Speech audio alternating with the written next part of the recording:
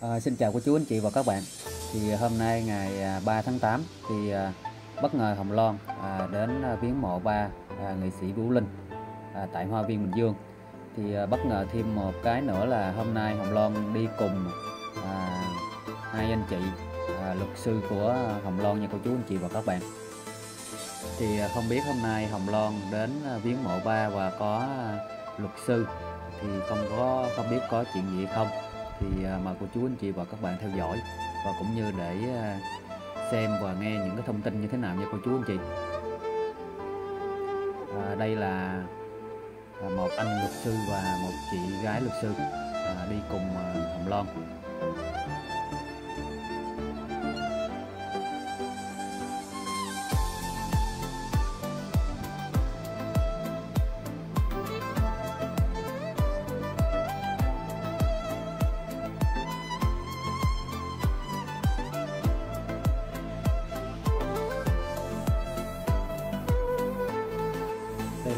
Hình ảnh của các anh em youtube tại à, hoa viên bình dương. À, quay trực tiếp với cô chú anh chị. Hiện tại trong đó có à, những người bạn thân thiết cùng với các trang đó là tại 66 vlog và em cùi bắp ba ba số năm. Các anh em cũng đang đưa tin.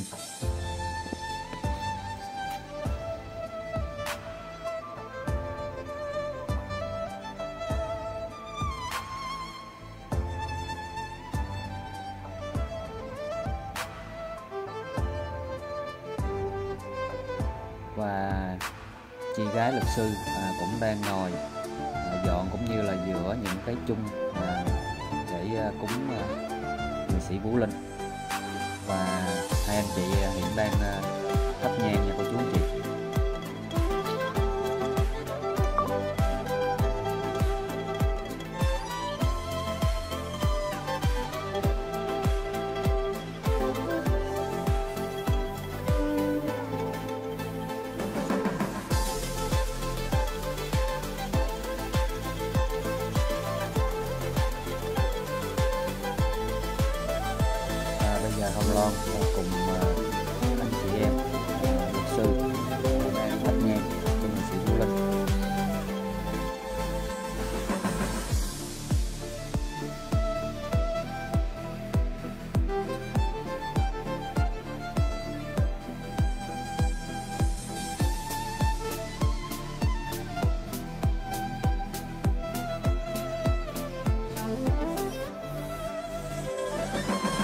Thì à, có những thông tin à, bên à, phía à, cô giáo Hồng Nhung như Hồng Phượng, Kim Nga, à, cô Bún Bò cũng có lên thường xuyên thì sau video này Phúc Khang sẽ nói đến và làm những cái video tiếp theo cho chú chị không hiểu các anh chị các cô chú đó lên có chuyện gì không mà thấy tất cả các anh em, em youtube trên đó canh và nói chung là không bỏ một phút lơ là nào hết. Thì nhà Phúc Khang theo dõi thôi mà nhìn cũng thấy là mắc cười. Một người à, đi sao mà có rất nhiều người mến mộ, còn một người đi tại sao mà có nhiều người để à, chú ý và có những à, câu nói không nghe không có hay. Thì Phúc Khang sẽ làm tiếp đến video cho cô chú anh chị và các bạn xem thì hiện giờ Hồng Loan cùng à, à, hai người à, là luật sư à, đi thắp nhang xung quanh mộ à, của nghệ sĩ Vũ Linh như cô chú anh chị. Thì à, hiện tại Phúc An cũng có thông tin là hôm nay Hồng Loan cùng luật sư à, cũng có đến à, văn phòng Hoa Viên à, đang làm việc. Thì à, nói những cái việc gì thì à, ở bên trong phòng thì ở ngoài các anh em không có nghe cho nên cũng chưa biết thông tin thì những cái thông tin này thì Phúc Khang sẽ tìm hiểu ở trên những ờ, tờ báo chính thống như là báo pháp luật, báo uh, tuổi trẻ uh, để gửi đến cho cô chú anh chị và các bạn xem. Các anh em thì chỉ cũng được ghi hình bên ngoài thôi chứ không có cũng được biết được tin chính xác lắm.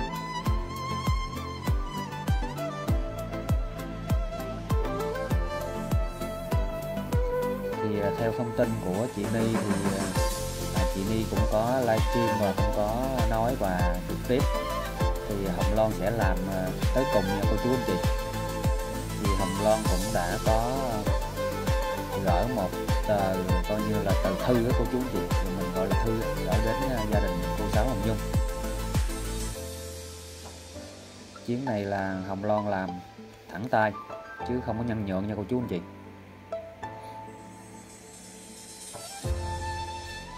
Chuyến này Hồng Loan làm tới bến luôn. Nhưng mà cái vấn đề này thì à, mình chỉ xem và mình chỉ à, đánh giá thôi. Chứ mình cũng không phê phán, mình cũng không có quyền à, phán xét ai được hết. Thì theo mình, theo ý mình mình nghĩ thôi. Thì hiện tại thì Hồng Loan cùng với hai vị luật sư đang cúng cơm trưa tại mộ nghệ sĩ Vũ Linh nha cô chú, anh chị thì ờ, theo như mình thôi mình như Phúc Khang thôi. Phúc Khang suy nghĩ thôi chứ mình không có quyền phán xét và mình cũng không có quyền uh, phán trách ai hết. Nhưng theo mình về cái lý cái lý thôi cái lý mình mình hiểu mình biết thôi. Thì những cái vấn đề đó thì mình đã nhìn ra những cái sự sai trái nó rõ ràng như vậy. Rồi sao cứ hết chuyện này hết chuyện kia. Rồi kể cả giống như cái chỗ anh bảy cũng vậy lên sóng livestream mình nói đủ thứ Dạ, vợ con anh đi ờ, đám tang về, gì toàn thấy quỷ thấy gì đâu không? Anh nghĩ sao? Từ cái một cái đám tang người lớn tuổi người có tiếng tiếng tâm lừng lẫy.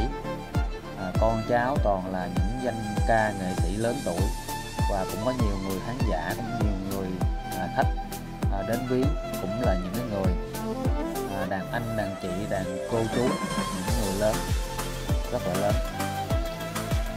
Mà anh nói là vô toàn là nhìn thấy quỷ không? Thì tôi không biết cái những cái câu nói anh như thế nào tôi không không hiểu. Thì cái đó thì để cho quý khán giả à, người ta sẽ xem xét, người ta bình luận, người ta sẽ cho anh một cái đáp án, một cái lời giải thích.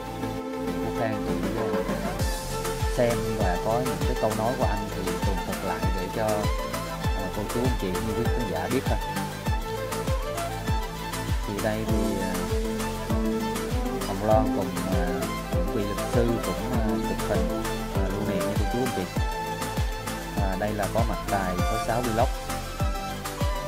Và các anh em à, tác nghiệp ở trên à, mộ nghệ sĩ Vũ Linh rất là lâu.